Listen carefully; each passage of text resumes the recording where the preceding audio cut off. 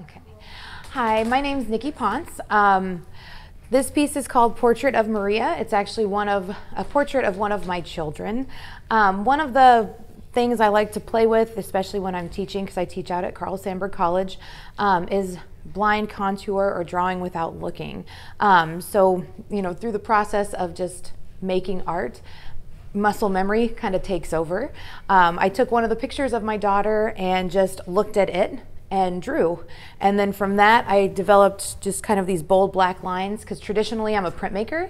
Um, I haven't really played with printmaking much since I've graduated from Eastern. So, you know, getting away from that and just kind of going more and more into painting.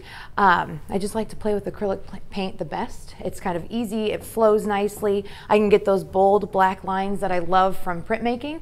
Um, and I kind of incorporate those as much as I can. And this is a new series that I've started oh, within the last six months. Um, since we've been kind of in quarantine, I've been playing with new ideas. I have my students do this. They always come up with fun, you know, self-portrait designs. And I'm like, well, I'm going to do some of my own. So I've started doing a series with each of my children, um, playing with watercolor. Again, still using those bold black lines too. So.